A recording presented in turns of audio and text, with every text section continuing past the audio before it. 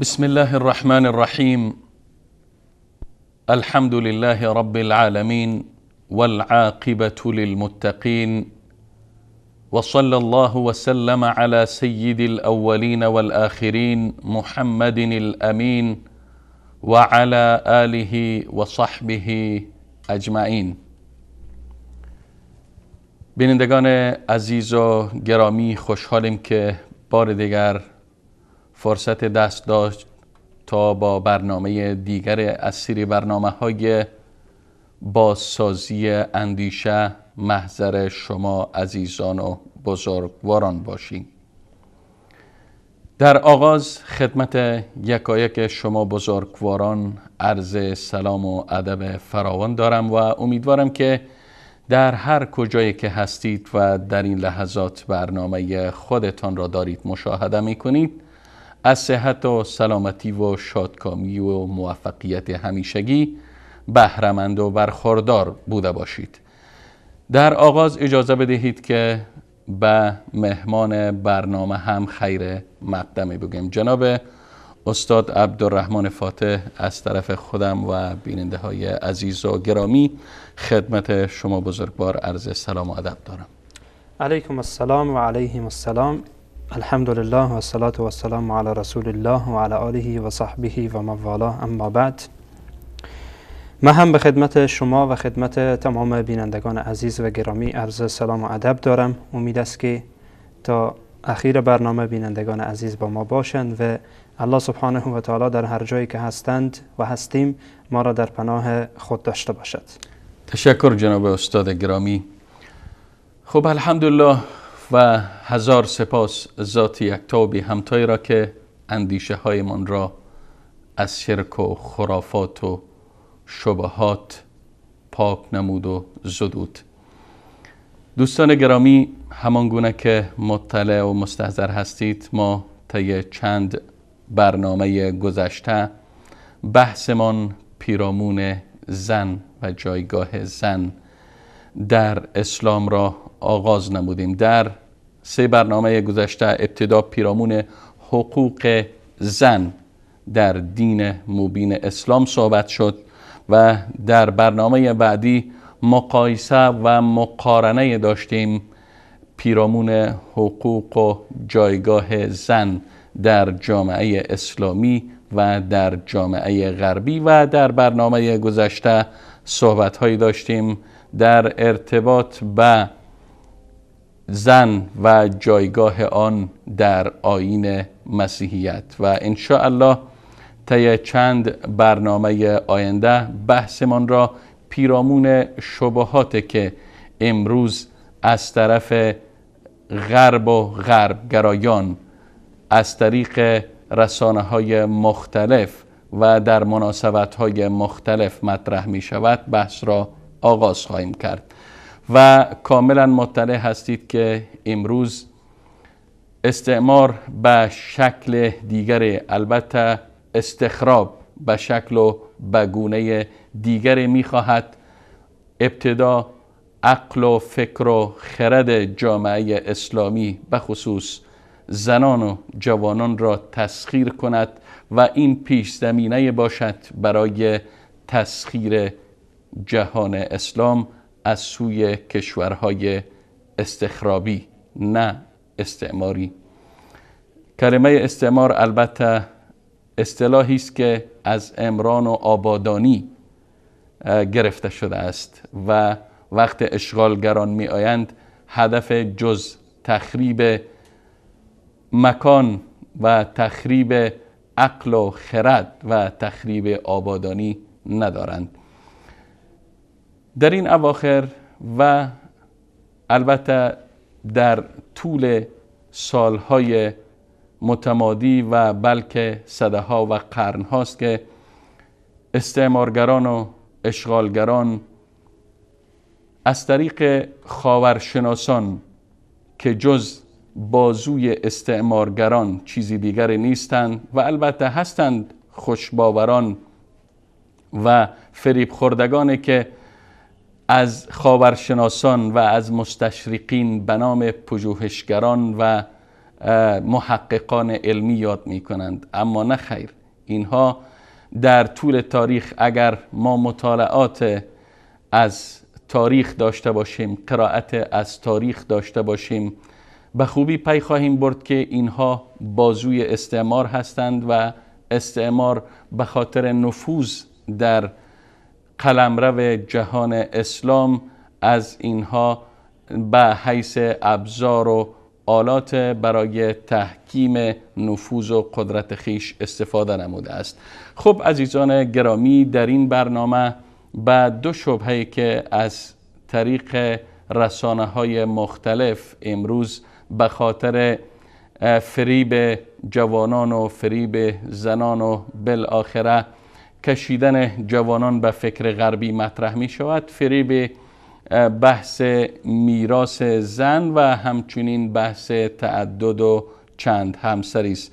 اما قبل از اینکه وارد بحث شویم ما از جناب استاد عبدالرحمن فاتح این سوال و این پرسش خدمتشان مطرح می‌کنم که آیا زن و مرد در دین اسلام از عین جایگاه از عین ارزش و از عین حقوق برخوردار هستند یا اینکه تفاوت هست میانشون. تشکری می‌کنم از مقدمه بسیار زیبای شما. الله متعال به شما جزای خیر بده. آمین.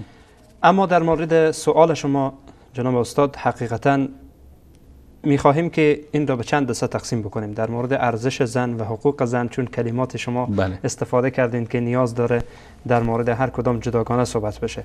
بفرمایید. در مورد ارزش زن در اسلام برمیگرده به جایگاه زن و ارزش زن به این که احیانا در بعضی از مسائل این زن می‌تونه که از مرد بالاتر باشه و احیانا می‌تونه مرد از زن بالاتر باشه. در مسائل عبادی آنچه که ارتباط به عبادت می‌گیره مرد و زن با هم هیچ تفاوتی ندارن. از نظر اجر و پاداش مرد و زن با هم هیچ تفاوتی ندارن.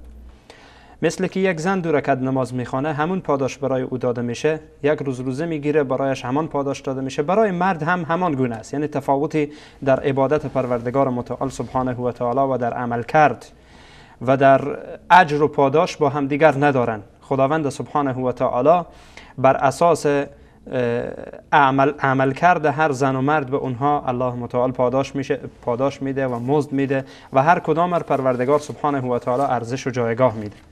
بله. به این آیه قرآنی توجه بکنین الله سبحانه و تعالی در سوره مبارکه حجرات آیت 13 میگه که یا ایها الناس انا خلقناکم من ذکر و انثى من ذکر و انثى و جعلناکم شعوبا و قبائل لتعارفوا. ان اکرمکم عند الله اتقاکم.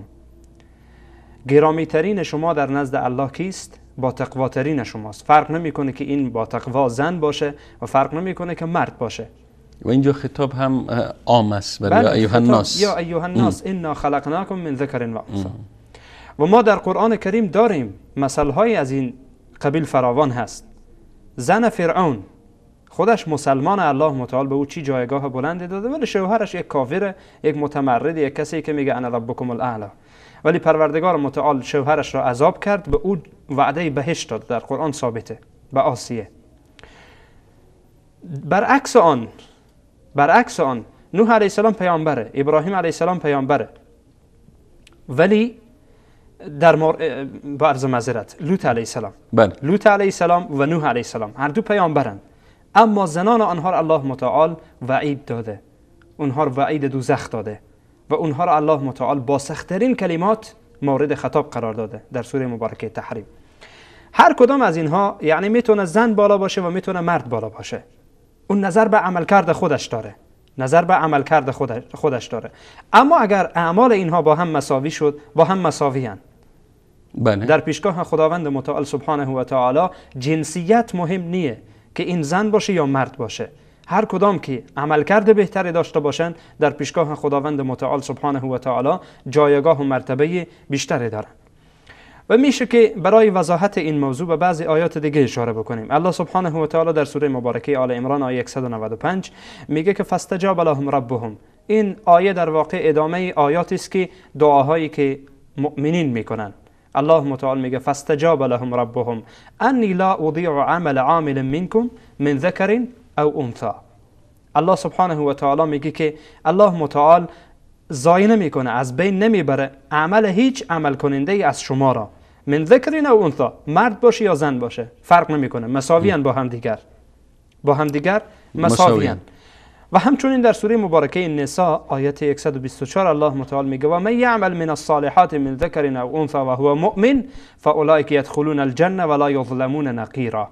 الله متعال میگه کسایی که عمل صالح انجام میدن چی مرد باشن و چی زن باشن در حالی که مؤمن باشن ایمان داشته باشن فاولئک يدخلون الجنه اینها وارد بهشت میشن وارد بهشت الله میشن. ولا یظلمون نقیرا. الله متعال به اندازه نقیر هم به اونها ظلم نمی‌کنه و ظلم کرده نمیشن اینا به اندازه یک نقیر هم. یعنی کوچکترین چیزی. اینها بله. به اونها ظلم نمیشه. و همچنین الله متعال در سوره مبارکه نحل آیت 97 میگه من عمل صالحا من ذکر او انثى و هو مؤمن فلنحینه حیاتا طیبه. الله میگه کسی که از شما عمل صالح انجام بده چی مرد باشه و چی زن باشه ما به او حیات نیکویی به او عطا می‌کنیم. حیات نیکویی هم در دنیا و هم در آخرت. ولنجزینهم اجرهم. الله سبحانه و تعالی میگه به اونها اجرشان را ما میدین. کامل اجرشان را به ایشان میدین. به احسن ما کانوا یعملون. با آنچه که خودشان انجام دادن به بهترین عملی که خودشان انجام دادن به بهترین وجه به اونها پاداش داده میشه. در این آیات شما توجه بکنین جناب استاد هیچ تفاوتی میان زن و مرد گفته نشده. بله. بلکه من ذکرین او انثى چی مرد باشه چی زن باشه فرق نمی‌کنه. آیت دیگر سریحتر الله سبحانه و تعالی در سوره مبارکه احزاب آیه 35 میگه ان المسلمین والمسلمات. والمؤمنين والمؤمنات والقانتين والقانتات والصادقين والصادقات والصابرين والصابرات. الى آخر بعد الله سبحانه و تعالی در اخیر میگه عد الله لهم مغفرة و اجرا عظیما. مؤمن زن مؤمن مرد مؤمن زن مؤمن. زن مسلمان مرد مسلمان. یعنی کلا اینها را الله متعال در کنار هم قرار میده. بعد در اخیر میگه الله متعال به اینها مغفرت و آمرزش و اجر بزرگ الله به اینها آماده دیده و به اینها میده. آیه 35 سوره مبارکه احزاب.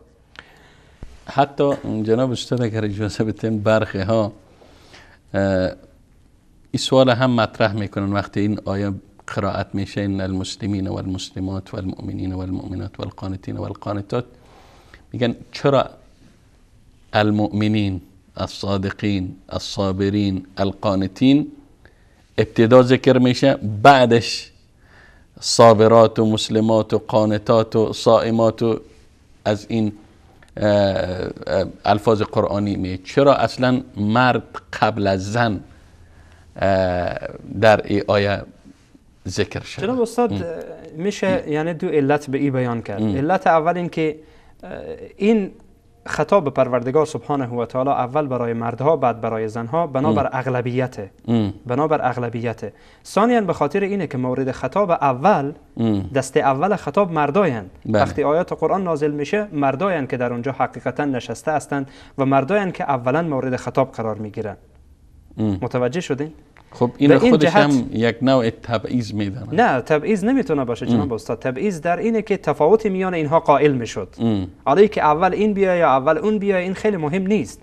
در بعضی از موارد هم هست که الله سبحانه و تعالی مثلا زن مقدم زن مقدم می‌کنه. در سوره مبارکه نور میگه از زانی تو از زانی خب این یعنی علت های مختلفی داره. چرا در اونجا اون مقدم شد چرا در اینجا این مقدم شدی؟ بحث ما نیست.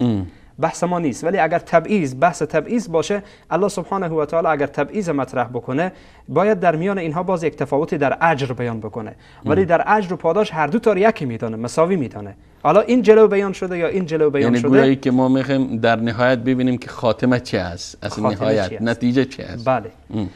بعد الله سبحانه و تعالی خود در مورد اجر و پاداشه. بله. حتی در مورد اطاعت و پیروی در مورد انقیاد و فرمانبرداری در مقابل دستور خدا و پیامبر الله سبحانه و تعالی در آیت بد یعنی سوره احزاب آیت 36 میگه و ما کان لمؤمنین ولا مؤمنتین. برای هیچ مرد مسلمانی و زن مؤمنی درست نیست. اذا قضى الله ورسوله امرا ان يكون لهم الخيره من امره ومن يعص الله ورسوله فقد ضل ضلالا مبینا اینجا بحث اینجاست که الله سبحانه و تعالی اونها رو بر حذر میداره.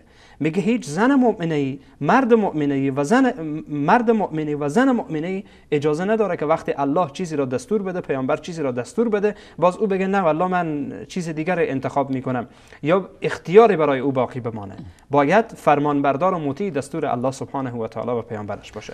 این در باب ارزش زن در باب خب. عبادی در بله. پیشگاه خداوند متعال هیچ تفاوتی میان زن و مرد نیست همان جایگاهی که مرد داره همان جایگاه را زن هم داره به شرط اینکه همان عملی را که مرد انجام میده زن هم همان عمل را انجام بده پس جناب دکتر جناب استاد عبدالرحمن البته جناب استاد بله. یک اشاره بله. در بعضی از موارد هست در اعمال در عبادات که باز برای زنها مورد خطاب قرار نگرفتن و الله سبحانه و تعالی همان پاداش را به اونها میده. یا عوضی در برابر او آمده.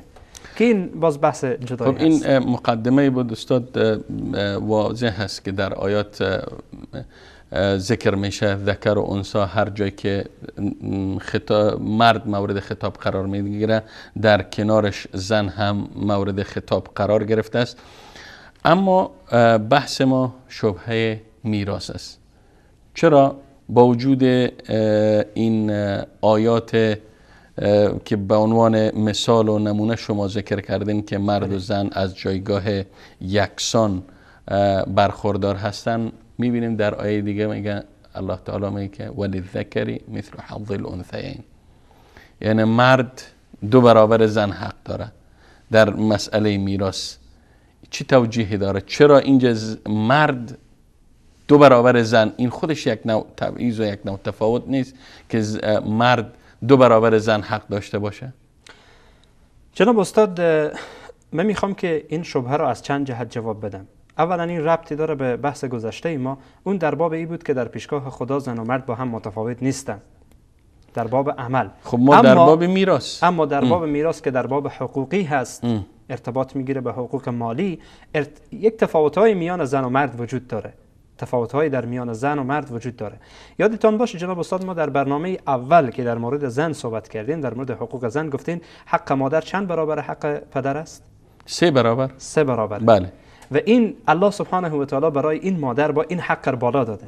اما در باب میراث اولا اجازه بدین که من می‌خوام در مورد میراث که این زن که اینقدر حالا به هر حال در, در, در دین اسلام بله. در دین اسلام مورد تهاجم قرار گرفته. بله. هر روز شبه پراکنی میشه که دین اسلام برای زن مانند ادیان دیگر مانند امروز اندیشه های دیگر حق قائل نشده است. حق زن در اسلام تلف شده است و شاهدش هم ایست که قرآن میگه ولی ذکر مثل حظ الانثیین. بله درسته. اجازه بدین که اول جناب استاد ما به صورت مختصر به صورت اجمالی سوال شما رو پاسخ بدم. بعد انشاءالله به صورت تفصیل به هر کدام از اینها بپردازم وجه اول رد ما بر این شبهه که واقعا وارد میشه و هیچ جایگاهی نداره یعنی این شبهه بسیار ضعیفه این است که ما یک سر می‌زنیم به کسایی که این حرف را می‌زنن دین خودشان چیست؟ دین خودشان چیست و از دین خودشان برایشان دلیل بیاوریم تا اینکه اینها بدانند که در دین خودشان چیست. متوجه باشند که دیگه تا وقت خانه خودشان از سنگ است از از شیشه هست به خانه مردم سنگ اندازی نکنند. این اول. بله. ثانیا معنای این آیه را باید بدانیم بله. معنای این آیه را که الله متعال میگه ولی ذکر مثل حظ الانثیین معنای این آیه چی هست؟ شرح این آیه چی هست؟ که این را هم ان الله توضیح خواهیم داد. بفرمایید. و بعد از آن هم مورد سوم و وجه سوم اینه که آیا این این شبهه که وارد میشه که اسلام برای زن نصف حق مرد در میراث داده آیا در تمام موارد هست یا در موارد خاصی هست؟ این سه وجه را بینندگان عزیز توجه داشته باشند ان الله ما در این سه وجه هر کدام را توضیح خواهیم داد. بفرمایید مورد اول. بله. مورد اول که در مورد آیا این میراث حق زن حق زن که به عنوان میراث قرار می‌گیره آیا این میراث در ادیان گذشته وجود داشته یا نداشته؟ و آیا این کسایی که حالا از هر مشربی که هستند به اسلام اعتراض می‌کنن آیا در دین خودشان و در آین خودشان چیزی به نام میراث وجود داشته یا نداشته؟ اگر داشته چی گونه داشته؟ اول مورد یهودیت و مسیحیت. بله. یهودیت دینی که خودشان را منتسب می‌کنن به موسی علیه السلام و مسیحیت هم خودشان را منتسب می‌کنن به عیسی علیه السلام. و فراموش نکنین که کتبی که در نزد یهودیت مورد اعتماد هست در نزد مسیحی هم مورد اعتماد هست. چون عیسی علیه السلام نیامده که تورات از بین ببره. عیسی علیه السلام نیامده که صحف و کتب انبیاء گذشته از بین ببره. در مسیحیت چیزی به نام میراث وجود نداره. در مسیحیت چیزی به نام میراث وجود نداره. چرا؟ چون که کتاب اناجیلی که هست و نامه های رسولان که هست کلا اینها در باب معاملات در باب اخلاقیات در باب عبادات و اخلاقیات در باب میراث و معاملات و اینها برنامه ای نداره. چون چرا؟ به خاطری که عیسی علیه السلام نیامده که تورات را از بین بره. در تورات وجود داره. در بله. تورات وجود داره. پس بناهن وقتی که ما بحث یهودیت و مسیحیت در کنار هم مطرح می‌کنیم باز میگردیم به کتاب مقدس. کتاب مقدس که در مورد میراث چی گفته؟ در کتاب مقدس هست جناب استاد که صریحا بیان می‌کنه که دختر مادامی که مادامی که پسر یک شخص فوت می‌کنه شخص متوفا بله. فوت می‌کنه پسر داشته باشه برای دختر هیچی نمی‌رسه برای دختر اصلا میراث وجود نداره. نیست در, در, در دین مسیحیت. در دین یهودیت و مسیحیت. در هر دو تا. بله. در هر دو تا. چون گفتین کتاب کتاب تورات در نزد اونها هم مورد اعتماد. در خود تورات در خود انجیل ای مورد ذکر در شده؟ انجیل نیست. گفتم در انجیل نیست. در تورات هست. ام. چون در انجیل ما در مثلا در انجیل متی داریم که حضرت عیسی علیه السلام به صورت صریح میگه که من نیامدم که تورات رو از بین ببرم. ام. بلکه آمده حضرت عیسی که احکام خدا رو در اینجا تمام بکنه. یا در جای دیگه میگه در انجیل متی باز هم حضرت عیسی علیه السلام میگه که من آمده ام تا خرافات بنی اسرائیل رو از بین ببرم. نه آمده حضرت عیسی که دین جدیدی بیاره. ما در اینجا یک از یکی از اسفاری که در تورات هست یک قسمتی برای شما بیان می‌کنم. برای شما بینندگان عزیز که توجه بکنن به این نکات که در مورد میراث چی میگه. اگر عزیزان از اتاق فرمان این صفحه صفحه را نشان بدن این سفر اعداد جناب استاد بله. در باب 27 سفر اعداد یکی از سفرهایی که در تورات وجود داره. پنج سفری که هست یکی از یعنی مربوط سفر به معنای جز یا سوره گفته میشه تقریبا شبیه همان. این سفر اعداد در 27 باب 27 در آیت 8 از آیت 8 می‌خوانم ببینید چی میگه. میگه ببنی اسرائیل بگو خداوند گفته برای موسی به بنی اسرائیل بگو که هرگاه مردی بمیرد و پسری نداشته باشد ملک او به دخترانش می‌رسد. اگر پسری نداشته باشد. این نکته را توجه داشته باشید بله. اگر پسری نداشته باشد. و اگر داشته باشه و اگر دختری نداشته باشد ملک او متعلق به برادرانش خواهد بود. اگر برادری نداشته باشد آن وقت عمویش وارث او خواهد شد. خب به هر حال از اینا بگذاریم تا اخیر هست تا اخیر با اما نکته بحث ما اینجاست که میگه اگر مردی بمیرد و پسری نداشته باشد پسری نداشته باشد ملک او به دخترانش می‌رسد. یعنی از اینجا شما قید می‌گیرین که اگر داشته باشه به دختر چیزی نمی‌رسه؟ کاملا درسته. کاملا درسته. شما هیچ آیه صریحی نمی‌تونین در تورات و در انجیل پیدا بکنید در انجیل خویش در تورات پیدا کردن نمی‌تونین که در کتاب مقدس به صورت کل که گفته باشه شما برای زن میراث برای دختر میراث بدین. این مورد هم مورد خاصیه. برای دختر در صورتی بدین که پسر نداشته باشه ولی اگر پسر داشت کل مال پسر می‌گیره. چرا دختر بگیره؟ و شبیه این جناب استاد جالبه. شبیه این ما در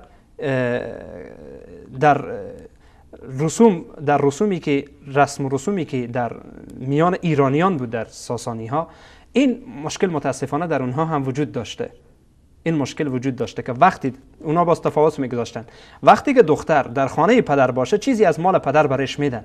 ولی وقتی که دختر, دختر ازدواج کرد ازدواج کرد دیگه چیزی برایش نمیدن. چرا برای یک فرد بیگانه بدن؟ یک فرد بیگانه میشه. حقیقتا چرا به شوهرش بدن؟ مثل دیدگاه غلطی که امروز در میان بعضی از کشورهای اسلامی به خصوص افغانستان متاسفانه وجود داره که وقتی دختر به خانه شوهر رفت گرفتن میراث رو برای خود عیب میدانه. این این در واقع گرفته برگرفته از زمان رسم و رسومی است که در میان ایرانیان بوده قبل از اسلام. قبل, قبل از اسلام. قبل از اینکه اسلام بیایه و مشرف به اسلام بشن متاسفانه این مشکل در میانشان وجود داشته. در بهاییت کتابی دارن اینا به نام کتاب اقدس. اما فقط این نقطه رو من می‌خواستم توضیح. بدم که ببینین در دین مبارک اسلام زن حق ملکیت داره. یعنی شوهر نمی‌تونه به حق زن به مال زن چه خانه باشه چه چه پول نقد باشه مداخله بکنه. حق خاص زن است. بله. وقتی زن میراث می‌بره اون حق زن است. حق بله، مرد نیست. اما امروز متاسفانه این نقطه هم در میان برخی جامعه مثل جامعه افغانستان جا گرفته که گویا امو یک مسئله است. میگن شطور بابارش اه، گرفت. بله. دیگه وقتی زن می‌گیرن وقتی زن به, هم به همسری می‌گیرن مال و اموال از و دارایی زن را هم مرتبط به خود میدارن. در حالی که مال و دارایی مختص به زن است. مرد حق تصرف در مال و دارایی زن را نداره. کاملا درسته. و شبیه این جناب استاد ما در دین بهاییت هم داریم. در دین بهاییت که کتاب دارن اینا به نام کتاب اقدس که میگن وحی منزل. وحی منزل این کتاب و این کتاب مجموعه قوانین و احکامه. در بله. این کتاب اقدس مجموعه قوانین و احکامه که اینها منصوب می‌کنن میگن وحی منزله که به بهاءالله فرستاده شده. خب به هر حال به این بس کار ندارن که حالا فرستاده شده یا نشده. بس اینجاست که اینها در دین بهاییت و در این کتاب اقدس صریحا میآیه که برای زنها شما میراث ندین. یا اگر میراث میده به, به, به یک موارد خاصی. یک موارد خاصی که خودشان در نظر دارن. یعنی وقتی که اینها میآیند باز به اسلام حمله می‌کنن واقعیت اینه که انسان تعجب می‌کنه جناب استاد. یا مثلا وقتی ما خب چرا آل سوال اینجاست که چرا در اسلام مثلا چرا در اسلام خب این نقایص و این کمبودی ها و این تضاد ها و این مغایرت ها در دیگه ادیان وجود داره. اما بله. چرا در اسلام باز هم زن نیم حق داشته باشه. یعنی اولا اولا گفتیم که ما انشاءالله در این مورد صحبت می‌کنیم که این به طور کلی و به طور انحصار نیست که در هر مورد زن بیای چهار قسم نصف ببره. خب پس فقط در؟ چهار مورد خاصه. بفرمایید. فقط در چهار بفرمایید. مورد ما. فقط اصل بحث اصلی ما هم همین است. بفرمایید. بسیار خوب. اما زمان جاهلیت قبل از اسلام خب زمان جاهلیت- می‌گذاریم ام، به بعد می‌گذاریم. که اه، حتی زن را به عنوان میراث می‌گرفتن. در او شک زن. خودش میراث شک. نیست که در ج- ج- قبل از اسلام و حتی چند صد سال قبل در کشورهای غربی و اروپایی هم زن خرید و فروش می‌شد به به عنوان متاع و کالا. حالا برمیگردین به این نکته جناب استاد که میراث هر چی که شخص نزدیکتر باشه قرابت شخص به میت نزدیکتر باشه به او بیشتر می‌رسه. این یک قاعده کلی این را داشته باشین. بله. بعد اینکه آیا زن در هر موردی در هر موردی حقیقتا نیم- نیم مرد می‌بره نیم مرد می‌گیره میراث نه این موارد خاصی داره و در بعضی از موارد هست که زن از مرد میراث بیشتر می‌گیره و در بعضی عجیب. از در بعضی یعنی از هست حالات و مواردی که بله. زن نسبت به مرد بله بیشتر بله انشاءالله به می‌بره. اینها اشاره خب می‌کنیم توضیح در بعضی از موارد هم هست جناب استاد که زن و مرد با هم مساوی می‌برن بعضی موارد زن بالاتر می‌بره بعضی موارد مساوی هن. بعضی موارد مرد از بفرمایید بیشتر می‌بره. مستقیما وارد بحث شوین تا شبهه که مطرح شده برطرف شود لاقل کسانی که اطلاع ندارند همین مشکل یا شبهه که در ذهنشان جا گرفته رفع شود بله کاملا درست. اجازه بدین که اول آیه که شما خواندین این آیه را تشریح بکنم چون ارتباط داره. ولی ذکر مثل الله متعال میگه فل- وللذکر مثل حظ الانثیین برای برای مرد برای مرد دو برابر برای زن هست. ام. اینجا را توجه داشته باشین یک نکته لطیفی وجود داره جناب استاد. اول آیه رو حذف نکنین. الله متعال میگه یوصیکم الله فی اولادکم. یوصیکم الله فی اولادکم. فی اولادکم. نمیگه بله. فی المواریث. فی المواریث نمیگه. فی الوارثین هم نمیگه. فی اولادکم. در اولاد شماست. یوصیکم الله فی اولادکم للذکر مثل حظ الانثیین. اصلا ارتباط می‌گیره به فرزندان میت فرزندان فرزندان متوفا. مثلا یکی از مواردی که جناب استاد وجود داره مواردی که وجود داره که چهار مورد در قرآن کریم به صورت حصر. غیر از چهار مورد دیگه مورد نیست. این چهار مورد خاصه که زن نصف مرد می‌گیره. مورد اول اینه که شخص فوت می‌کنه. بله. از او یک دختر میمانه یک پسر میمانه. یا یک دختر دو دختر میمانه یک پسر. حالا به هر صورت. نصف مال نصف مال از این یعنی میشه گفت که این مال را شما سه قسمت بکنین. سلس مال برای دختر می‌رسه. سلسین یعنی دو قسمت برای پسر می‌رسه. دو قسمت یعنی برای پسر و یک قسمت برای بله کاملا برای دختر. نصف. و همچنین در مواردی در موردی که خواهر خواهری که ناتینیه. خواهری که چی؟ یعنی یعنی هم از پدر و هم از مادر. خواهری که هم از پدر و هم از مادر. همراه برادری که از خواهر و مادره. بله. یعنی خواهر برادر ناتینی اینها در این صورت خواهر نصف آن چیزی که برادرش می‌گیره حق می‌گیره. خب. این مورد دوم. مورد سوم اینه که خواهر علاتی که در اصطلاح میراث به او علاتی میگن. یعنی, یعنی خواهری که از پدر باشه. از پدر یکی باشن و از مادر نه. از مادر نباشه. خب. با برادری که از پدر باشه. یعنی این دوتا با هم هم از, از پدر هستن ولی از مادر نیستن. متوجه شدین؟ بله. از مادر متفاوتن ولی از پدر یکیان بله. از پدر یکیان این هم در این مورد برادر دو برابر حق می‌گیره که خواهر گرفته. بله. این مورد سوم. در این سه مورد خواه این سه مورد. مورد چهارم. مورد چهارم اینه که پدر بزرگ فوت می‌کنه. بله. از او پسری هم وجود نداره. حالا از این پسری که این پدر بزرگ فوت کرده پسرش مرده. پسرش قبلا فوت کرده. از این پسر یک دختر مانده یک پسر مانده. بله. برای دختر پسر و پسر پسر برای پسر پسر دو قسمت می‌رسه برای دختر پسر یک قسمت می‌رسه. این چهار موردی که در قرآن کریم به اونها اشاره شده و مرد بیشتر از زن می‌گیره و بیشتر اعتراضی هم که میشه در مورد اولاده. اینها خب. اولادها بود. در, در مورد اولاده. شما فقط به فعلا به چهار مورد اشاره کردین که زن در میراث نیم حق مرد می‌گیره بله. اگر اجازه بتین ما به اجازه شما و به اجازه بیننده های عزیز و گرامی با هم یک میان برنامه کوتاه را می‌بینیم و بعد از مشاهده این میان برنامه موضوعمان را دنبال خواهیم کرد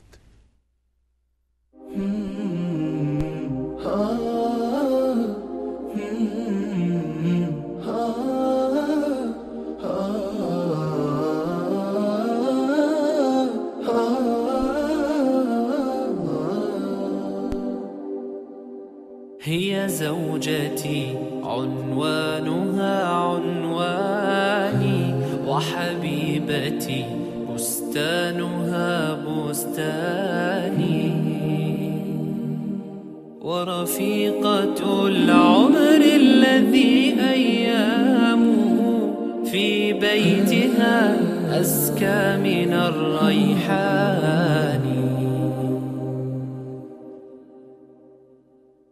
هي زوجتي عنوانها عنواني وحبيبتي بستانها بستاني ورفيقة العمر الذي أيامه في بيتها أزكى من الريحان. هي أم أبنائي وشريكتي في الفرح والأحزان. هي من إذا مل الفؤاد رأيتها زهرا جديدا يانع الألوان. وإذا اشتكيت من الصعاب وجدتها سهلا مريحا لين الأركان. وإذا أتيت من الظهيرة متعبا كانت كأنفاس النسيم الحاني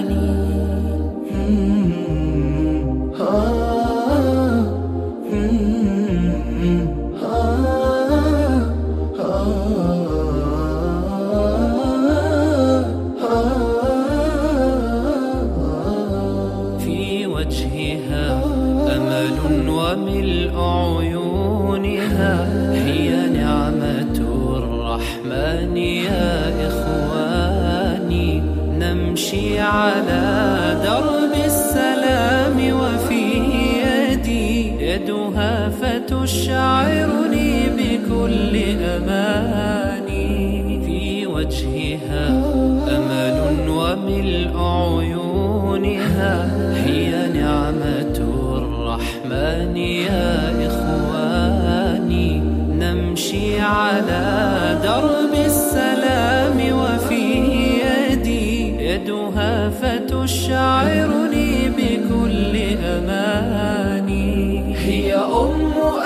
أبنائي وروضة مهجتي وشريكتي في الفرح والأحزان.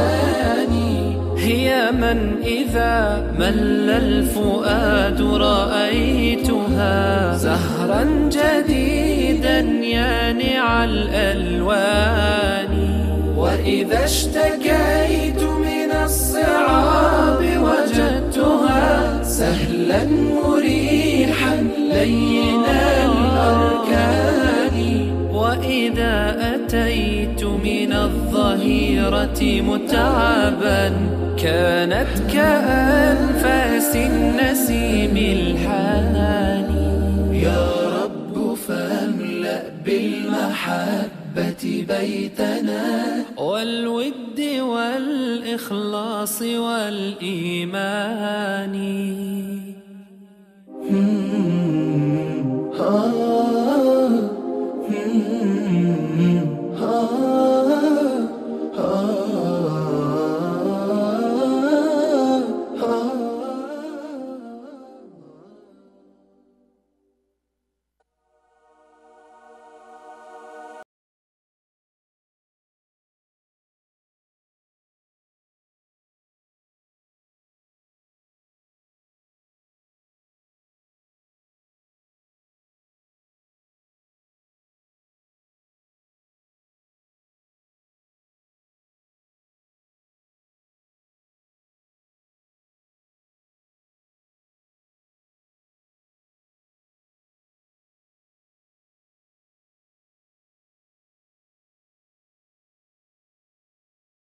گرامی با عرض سلام مجدد خدمت شما عزیزان و بزرگواران هستیم. قبل از میان برنامه جناب استاد عبدالرحمن فاتح داشتن در ارتباط و اینکه در چهار مورد زن نیم مرد میراث می‌برد صحبت کردین.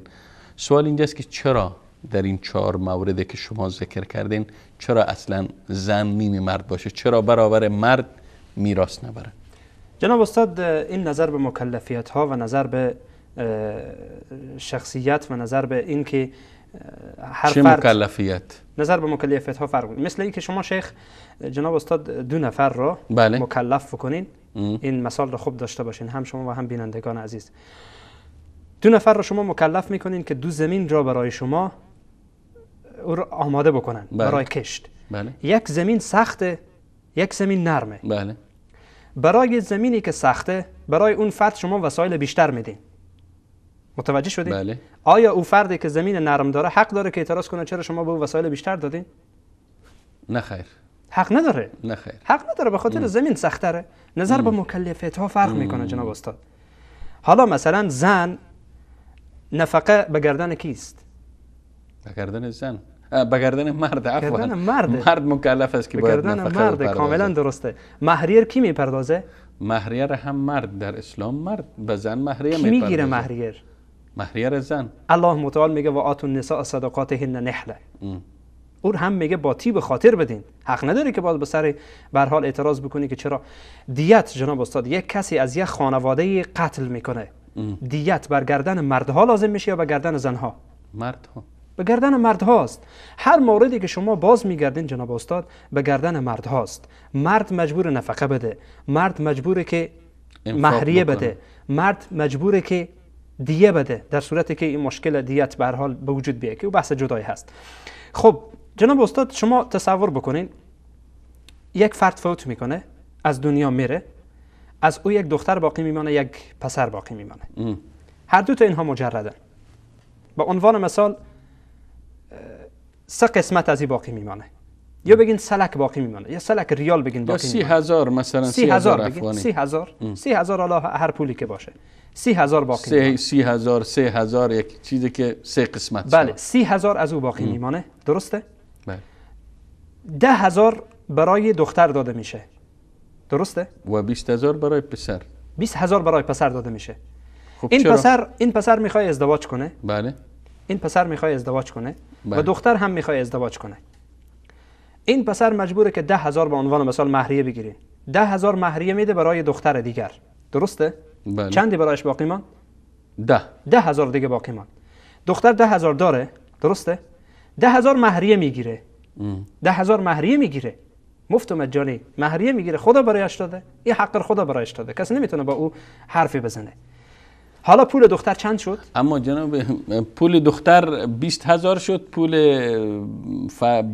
پسر ده کم هزار. آمد کم آمد اصلا پسر بیچاره کم آمد ده هزار. نفقه هم؟ اما اما جناب استاد وقتی پسر به طرف مقابل به دختر ده هزار میده باز هم اون ده هزار مصرف میشه میانشان هزینه میشه. نه جناب استاد اون بحث جدایی هست. این که الله متعال در قرآن کریم میگه در سوره مبارکه نساء و آتوا النساء صدقاتهن نحله فإن طبن لكم عن شيء منه نفسا فكلوه هنيئا مريئا ولی بدون حق دختر کسی حق نداره که بر مهریه اصل بر این است که حق اوست کاملا هیچ درسته کسی به هیچ وجه به هیچ به هیچ عنوان وجه. نمی‌تونه نه پدر در نه بله. شوهر نه مادر نه برادر هیچ کسی تصرف بر مال شخصی دختر نداره اما و این این امروز متاسفانه متاسفانه دیگه چی باید تعدی؟ میشه و از حق دختر یا حق زن تلف میشه و بحث جداگانه بحث است. جداییه، چون ما- ربطی به اسلام نداره ما چون فعلا دارین از دوربین اسلام صحبت می‌کنیم بله. از دوربین عملکرد مسلمان ها صحبت نمی از دوربین عملکرد اسلام صحبت بله. می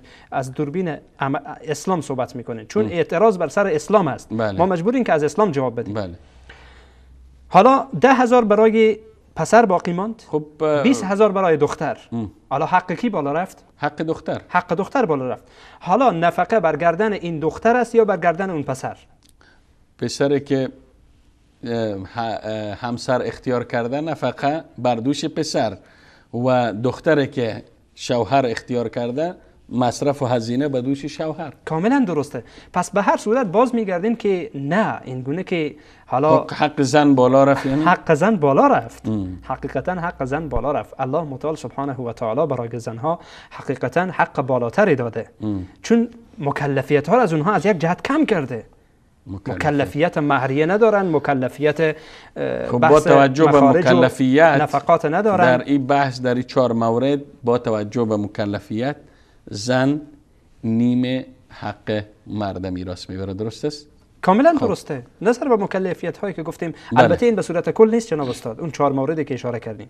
در مواردی هست که در اسلام زن مساوی با مرد حق می‌بره و در مواردی هست که زن بیشتر از مرد می‌گیره. خب مثلا؟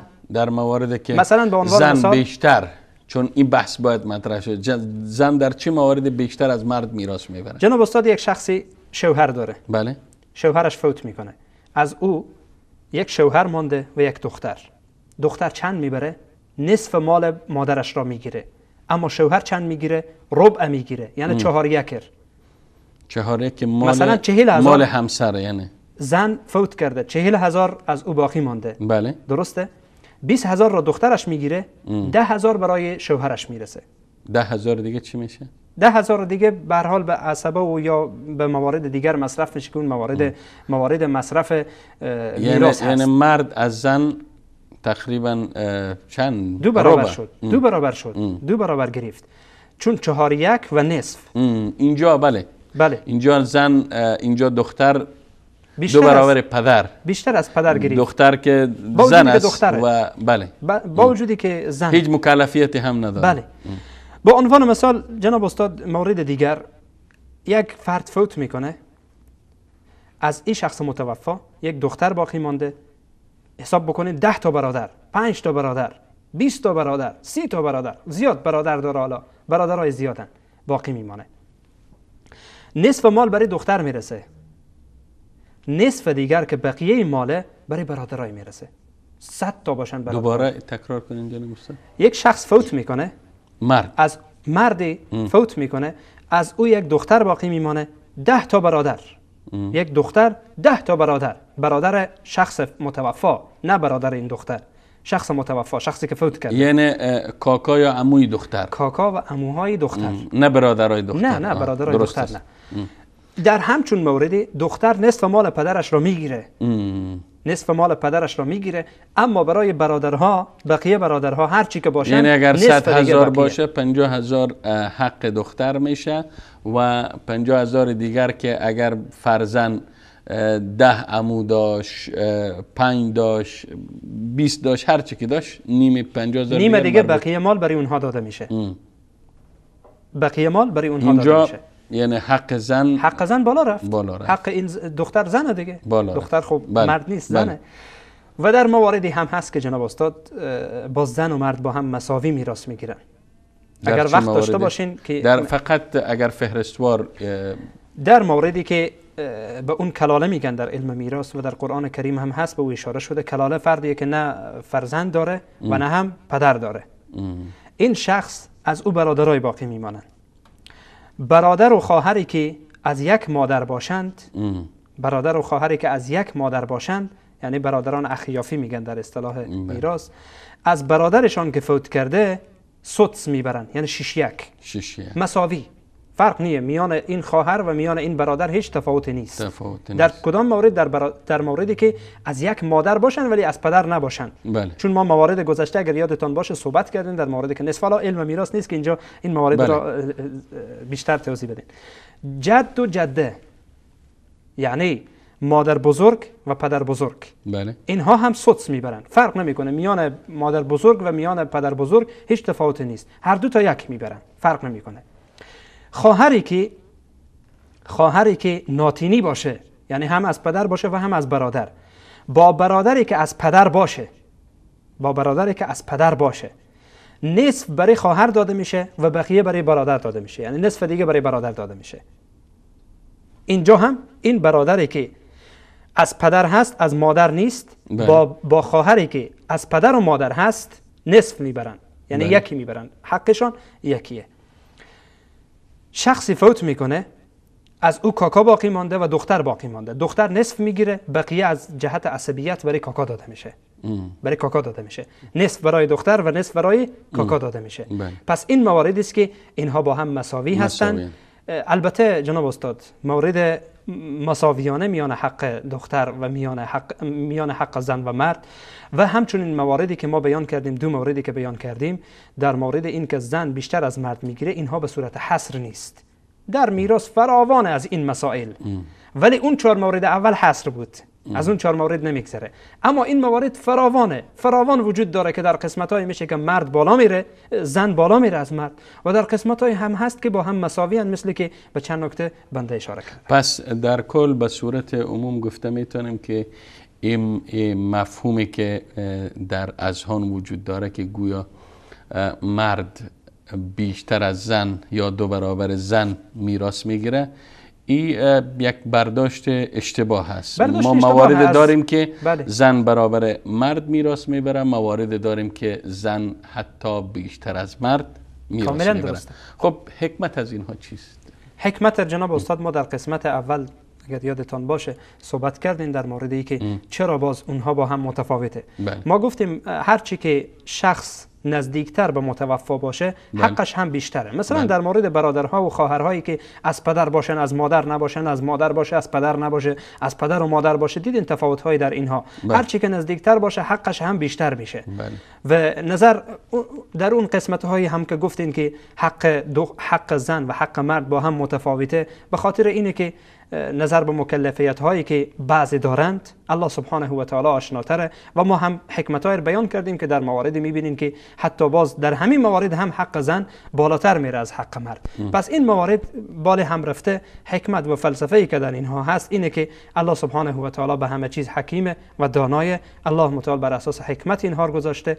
و این شبهه از جهات مختلف یعنی تو خالیه اصلا چیزی نداره. جز این که جز این که حقیقتا یعنی شبهه پراکنی بکنن به ذهن مسلمان ها و بعضی از این مسلمان ها هم متاسفانه احیانا میشه که دنبال این شبهات میرن و بدون اینکه اصلا به قرآن مراجعه بکنن قرآن کریم واضح صحبت کرده سنت رسول الله علیه السلام واضح صحبت کرده در این موارد. فقهای اسلام در این مورد واضح صحبت کردن کل موارد در بیان کردن. بله. پس هیچ جای باقی نمیمانه برای از اینکه یک شخص بیه بگه که بله اسلام به صورت کل بگه به صورت کل بگه. اسلام حق زن را کمتر از حق مرد داده یا نصف حق مرد داده؟ که ما به هر کدام از اینها به صورت تفصیل به خدمت شما و بینندگان عزیز اشاره کردیم خب کردیم. جناب استاد گفتن که حکمت اصلی و حکمت اساسی حتی از قوامت مرد اینکه مرد بر زن قوامت داره در مسئله نفقه و هزینه و پرداخت مصارف نهفته است انشالله که امیدواریم باز که انشالله میشه در این مورد در این ارتباط توضیحات. خدمت بیننده های عزیز و گرامی عرض شده باشه و شبهاتی که در اذهانشان وجود داره رفع شده باشه اگر باز هم اجازه بتین باز هم با یک میان برنامه کوتاه را با هم می‌بینیم و انشالله میریم پیرامون محور بعدی که بحث شبهاتی است که در ارتباط و چند همسری یا تعدد مطرح میشه.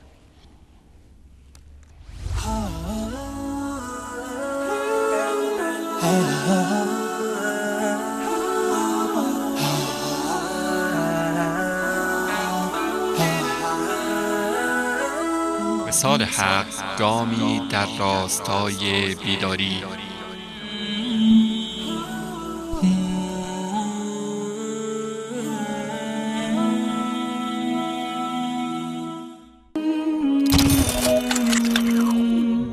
وسال حق در تلگرام. عزیزانی که مایل به دریافت تازه های شبکه ام از برنامه های زنده، کلیپ ها، احادیث، سرودها، سخنان علما، کتاب ها و مطالب مفید دیگر هستند. با مراجعه به پیام رسان تلگرام به زبان انگلیسی واژه وسال حق تیوی را جستجو نموده. و پس از وارد شدن به کانال وسال حق کلید جوین را فشار دهند.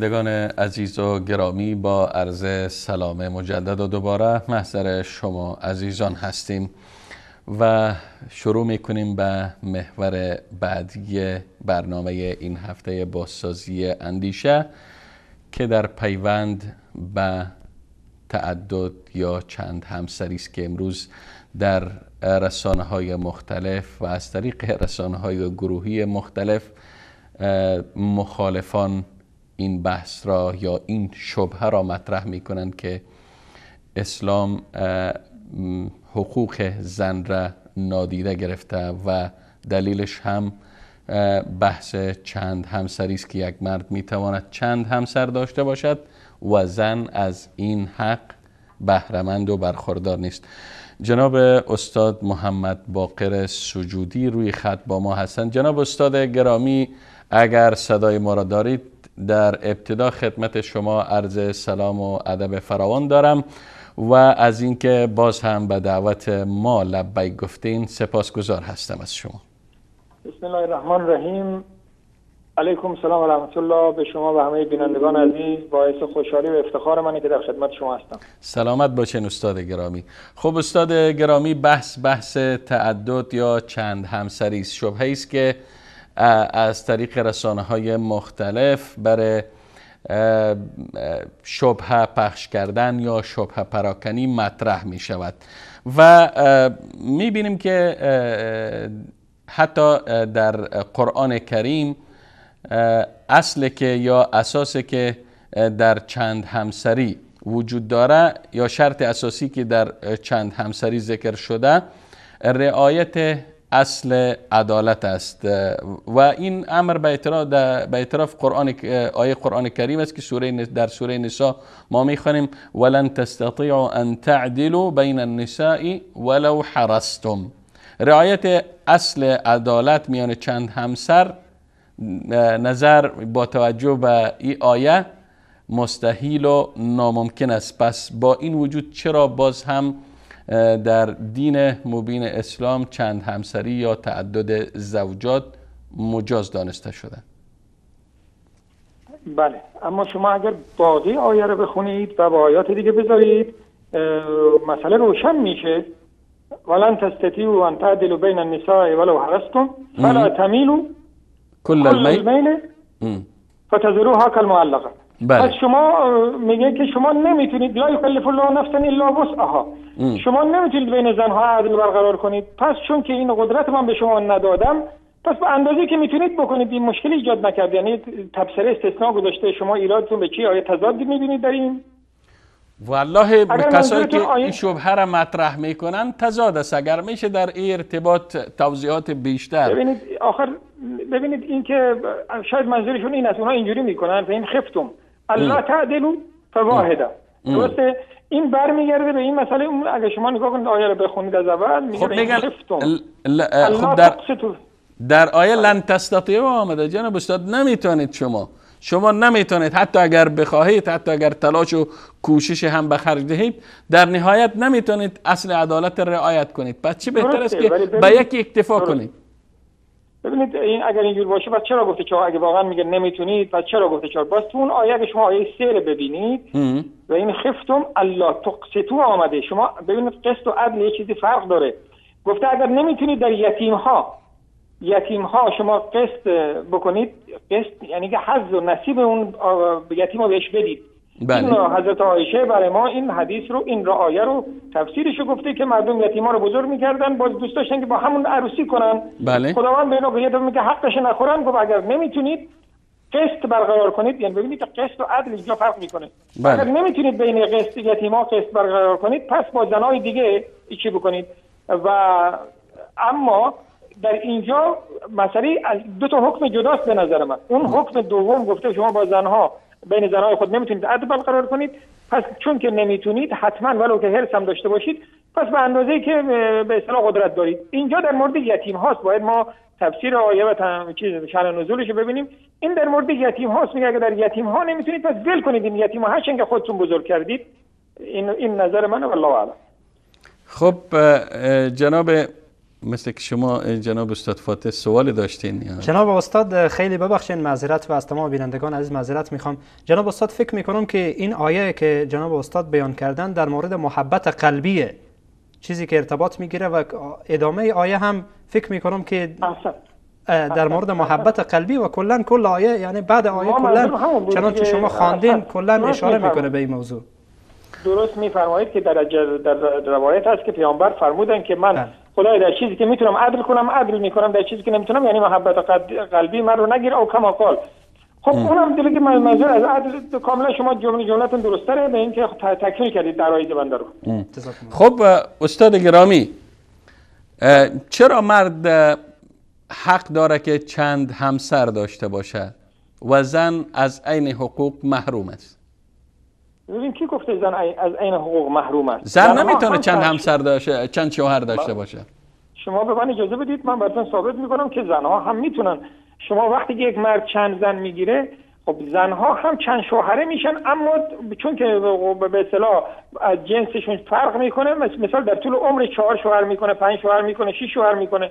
ما دیدیم زنهایی رو که در زمان خود ما که به قانون تعدد عمل می‌کنن بعد از اینکه شوهرشون مرد یا شهید شد یا کشته شد یا هر چی بعد از که عده تموم شد شوهر دیگه کردن. یعنی در یک سال دو تا شوهر گرفتن.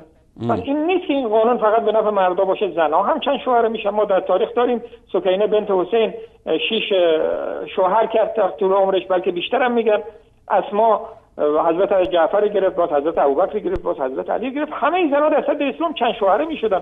چرا شما میگید که فقط مردا چند زنه میشن این قانون برای زنها هم فایده داره. برای اینکه عرضه زیاد کمه و تقاضا زیاده. یعنی مردها زب در دو میشن زب در سه میشن و زنها کمن. و هیچ زنی که کر و کورم باشه بدون شوهر نمیمونه. چرا شما سوال اینجوری مطرح کردید؟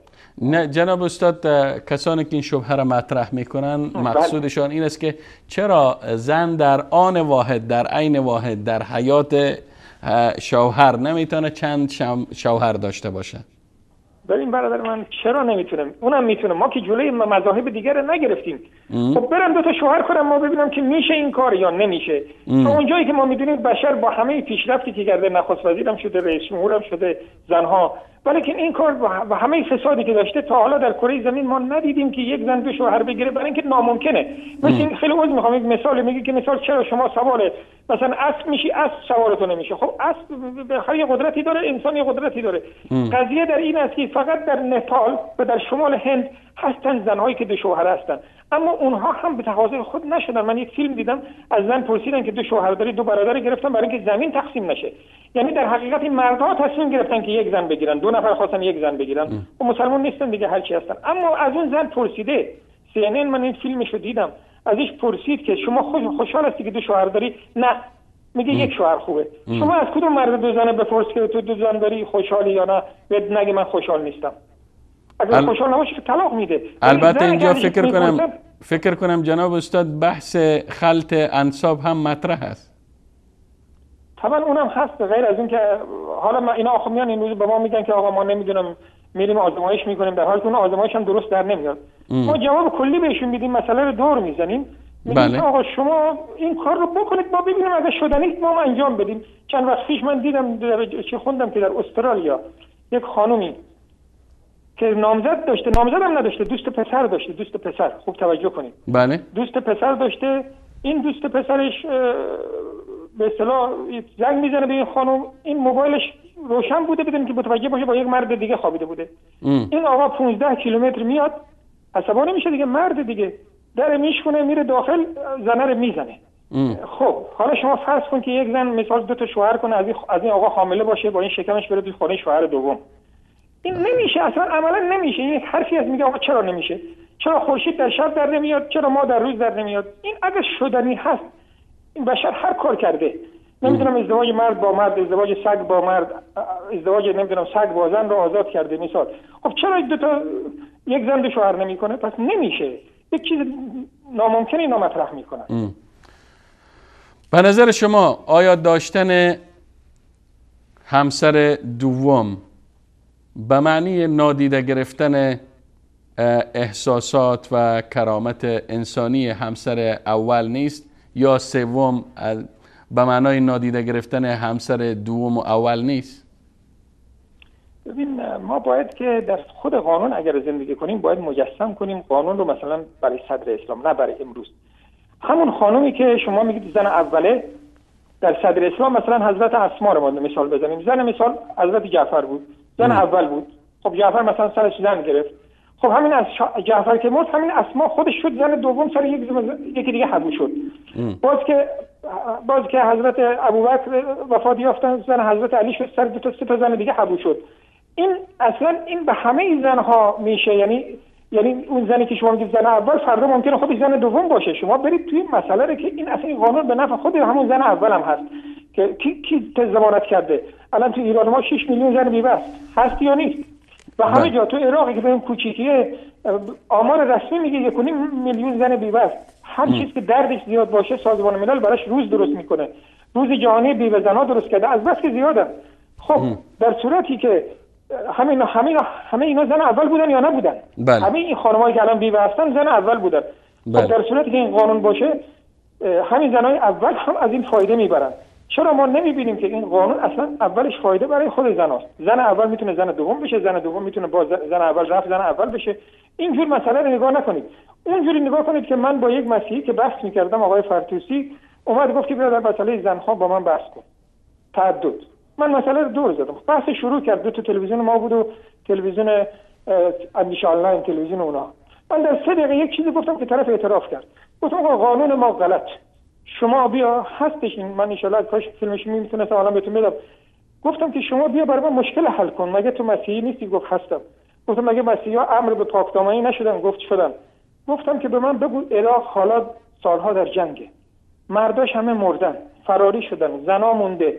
این زنا رو چیکار کنم پاک دامن چجوری باشن؟ خب تو خودت میگی باید عروسی کنن. از کجا برای اینا شوهر میاری؟ این بله. بدبخت مجبور شد اعتراف کنه. میگم فیلمش هست. گفت والا در عراق این جایزه. خب یعنی نمی‌تونی شما چشمتو ببندی. اصلا این فایده زناست. خدا من خیلی به زبان ساده عرض می‌کنم. خداوند در پس گردنی به مردا زده یعنی هر مردی می‌تونه به یک زن کفایت کنه. اما خواسته که این زنها شوهر پیدا کنن برای بعضی این حرس گذاشته که دو تا سه تا بگیرن خرج کنن. به طور غیرقانونی استاد سیغل شما ببینید استاد فاتح شما ببینید بینندگان عزیز شما ببینید به طور غیر قانونی همه مردم دنیا الان تو ایران 20 درصد سیغه میشن. مگر اینا سیغه زنای شوهردار میشن؟ مرد زنا... مردایی میشن که زن دارن. ام. خب این همه فاحشه خونه ها که از خیلی عضو می‌خوام در این دنیا پر فاحشه خونه است. فاحشه خونه معنیش چیه؟ فاحشه خونه معنیش این است که هر مردی ده زن میشه می‌گیره. هر مردی صد زن می‌گیره. معنی یک زن فاحشه یعنی زن صد مرد میشه. پس همه تعدد دارن. اما اونها به صورت غیر قانونی دارن به صورت نمی‌دونم غیر فطری دارن. یک ده درصد از مسلمان ها که فایده خود زن هاست مثلا میان تعدد اونم تازه تو کشور اسلامی همه جا ممنوع کردن غیر از سه چهار کشور. بله. چه ایرادی به ما می‌گیرن؟ بله.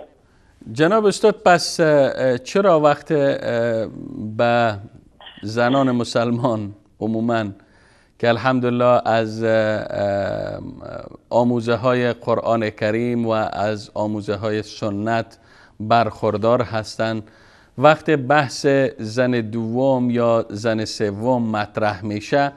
ناراحت میشن و حتی به درجه می‌رسه که خواستار طلاق میشن. چرا؟ ببینید یک علتش این هستش که ما تو یک جامعه اسلامی دقیق اسلامی زندگی نمی کنیم. ما می‌بینیم مثال من این رو با شما بگم.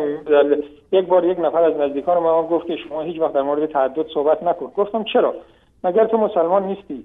خودت مگر اعتقاد نداری؟ حالا زن مسلمان هستی یا نیستی؟ گفت هستم. گفت ولی شما صحبت نکن. گفتم چرا؟ گفت شما لیست مردایی که می‌شناسی بیار. و ببین کدومش عدالت می‌کنن من با شرمندگی دیدم کسایی که من می‌شناسم 95 درصدش عدالت نداشته بین زنها. بله. خب وقتی عدالت نباشه این وحشت ایجاد می‌کنه. باز وقتی که این کار عمومیت نداره زن انگشت نما میشه. یعنی حالا جامعه خب می‌بینه اکثر دولت ها ممنوع کردن. و طرف میگه که انگشت نما میشه. و دیگه مشکل دیگه هم هست که ما جامعه ما خب نصف اسلام رو گرفتیم. اگر زن بیوه شد باز فامیلاش اجازه نمیده شوهر کنه. خب در حالی که این اصلا فلسفهش این است که زنهای بیوه شوهر کنن ولی می‌بینی که بچه 15 ساله شد جلوی مادرش می‌گیره برادر جلوی خواهرش می‌گیره میگن دفعه عروسی کردی دیگه تموم شد. خب اینا باعث میشه که زنها می‌بینه که از این قانون فایده نمی‌بره. ولی اگر ما عموما نگاه کنیم الان مثال تو ایران یک آماری گرفتن 48 48 درصد دخترای یک شهر آمار رسمی که دولت گرفته 48 درصد دخترای یک شهر گفتن که ما حاضر زن دوم بشیم. چرا برای اینکه میترسه اصلا بی شوهر بمونه این نیست که مردم نخوان این نیست دیگه. هر کس دنبال این است که افضل پیدا کنه اما اگر افضل پیدا نشد یعنی ما اینکه اجباری نیست. انسان اگر بتونه مثال دختری اگه بتونه مردی رو پیدا کنه مثال که دیگه اون زن نگیره خب خوبه. مون تا وقتی پیدا نشد بالاخره اینکه نمیشه که زن بالاخره مثل خوراک مثل غذا مثل لباس. اگه نگیم بیشتر بسیار انسان به هم همدم نیاز داره. هم از لحاظ جسمی هم از لحاظ روحی. هم از لحاظ روحی. روحی رو من به توان دو میگم. خب اون چرا مردم نمی‌بینن؟ چرا مثلا اونا زن نیستن یا اونا از کره دیگه اومدن؟ خب اون زنها هم احتیاج دارن که همسر داشته باشن. اینه. شبهه دیگری که مطرح میشه ایس جناب استاد سجودی که چرا پیامبر صلی الله علیه و سلم چرا به حضرت علی رضی الله تعالی عنه اجازه ندادند که بر فاطمه رضی الله تعالی عنها, عنها در حیات فاطمه رضی الله تعالی عنها زن دوم بگیره؟ سوال خیلی جالبی رو مطرح کردید خب باید به جوابش یک کمی بالاخره شاید که واسه 5 دقیقه یا 3 4 دقیقه طول بکشه. بفرمایید. اولا یک به چند جنبه صحبت می‌کنیم. اولا یکی این است که ممکن است من خود من پسرم می‌خواد اجازه بگیره زن اولم. بهش بگم آقا حق نداری از این بگیری. خب این نه اینکه اون زن مثال مسلمون نیست یا قانون ازدواج اول حرومه. من دلم نمی‌خواد اون دختره بگیره. حالا قضیه در این است که حضرت علی شما حضرت علی رو به عنوان یک آدم بیگانه نبینید. این مثل پسر پیغمبر بود. تو خونش بزرگ شد. یک پدر حق داره. حالا غیر از اینکه شوهر دخترش بود حق داره که در مورد زندگی حضرت علی که بهش نزدیک بوده تو خونش بزرگ شده چی بکنه؟ علتش هم گفت. و من نمی‌خوام که دختر دشمن خدا بیاد تو خونه ما. شاید بگید آقا اون که مسلمان شده بود. آقا مسلمون شده بود. حالا مثال ابو جل مثلا مسلمون می‌شد. دیگه این حق نداره که ابو جل بگه منم مثل ابوبکر هستم بیام کنارت بشینم. این دیگه خود پیغمبر دوستش رو انتخاب می‌کنه. مسلمان شدی به اندازه خودت. چون که خاندان ابو جل خاندان ابو جل همیشه در صف اول بودن حالا شدن صف آخر. می‌دونی بعضی خانواده همینجور هستن. خودشونو بالا می‌کشن به هر قیمتی شده حالا اگه در کفر بود خود بالا کشید در اسلام اومد یعنی طبیعت خانه اینه نه اینکه بد بودن خوب بودن مسلمان شده بودن. اما می‌خواست بیاد صف اول خودشون اومدن به حضرت علی که جوون بود پیشنهاد کردن که بیا دختر ما رو بگیر.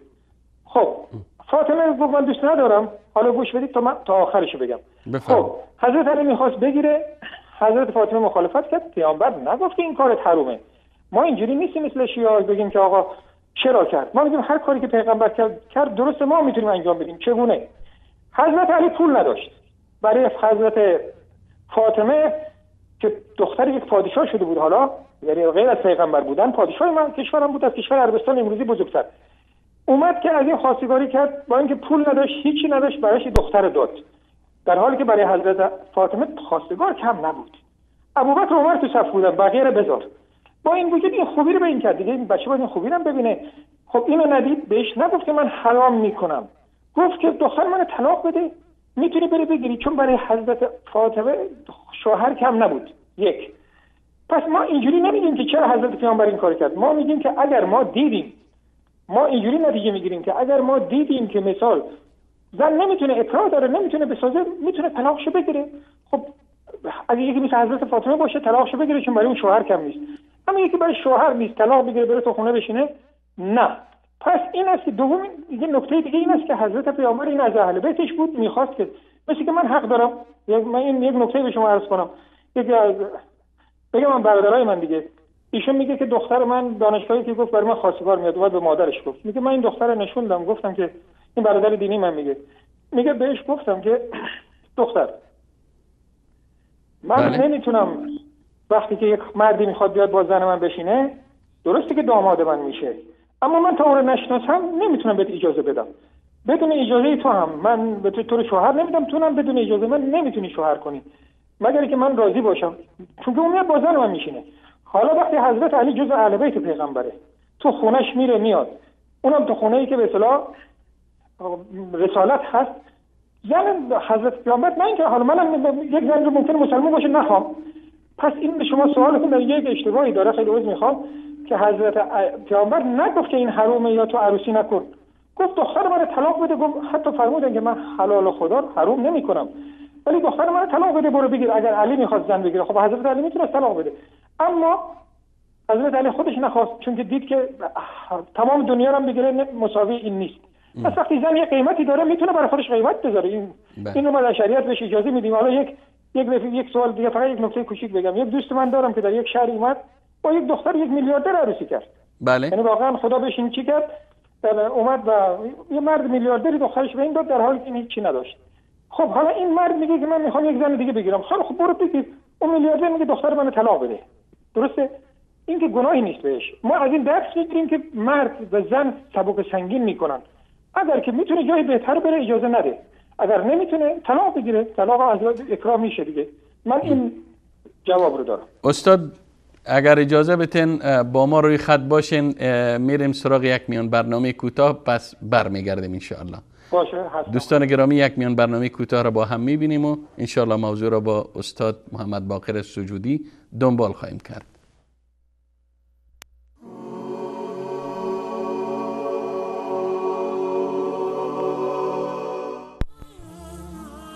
قل إن خير الأنبياء محمد. هو أجل من يمشي على الكثبان. هو أجل صحب الرسل صحب محمد. وكذاك أفضل صحبه العمران. قل إن خير الأنبياء محمد. هو أجل من يمشي على الكثبان. وأجل صحب الرسل صحب محمد. وكذاك أفضل صحبه العمران. رجلان قد خلق لنصر محمد. بدمي ونفسي ذلك الرجلان. بنتاهما أسنى نساء نبينا وهما له بالوحي صاحبتان. وهما له بالوحي صاحبتان. وهما لأحمد نظراه وسمعاه. وبقربه في القبر مضطجعان وهما لأحمد نظراه وسمعاه. وبقربه في القبر مضطجعان كان على الإسلام أشفق أهله. وهما لدين محمد جبلان وهما لدين محمد جبلان.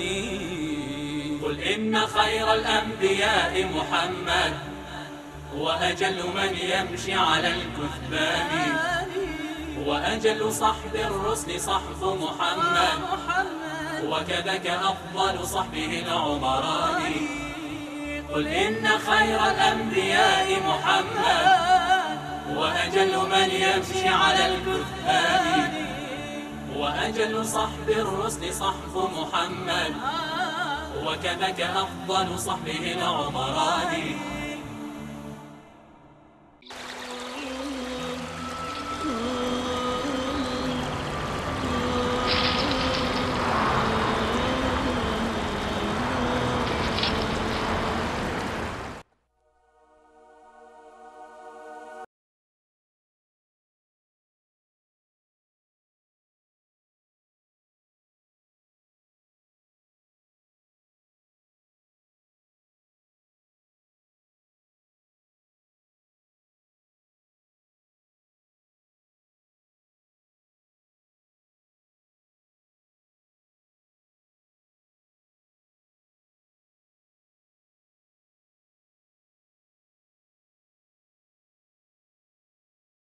عزیز و گرامی با عرض سلام مجدد و دوباره خدمت شما هستیم.